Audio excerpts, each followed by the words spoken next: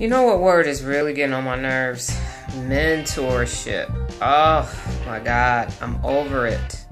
People keep asking me to be their mentor. That crap ain't happening at all. And really, you know what it's code for? I'm gonna tell you. People think if they have a mentor that somehow is going to help them hurry up and get the work done. You lead a horse to water, but you can't make him drink. A mentor ain't gonna make you mighty. Somehow you think if you have a mentor that you don't have to do the work. It, you can have 50 mentors. If you suck and you lazy, you ain't never gonna be successful. Mentor or not. Moral of the story is simple. Get the work done. Whether you got a mentor, a sensei, or whatever, if you want it, go get it. Period. And back to our regularly scheduled program. So don't send me no more messages asking me to mentor you. No.